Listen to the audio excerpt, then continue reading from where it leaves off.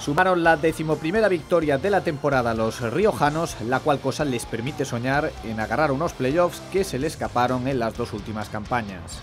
Los de Jesús Sala cimentaron su triunfo en un primer cuarto excelso ofensivamente y a un trabajo coral, ya que nueve hombres anotaron, tres de ellos con dobles dígitos.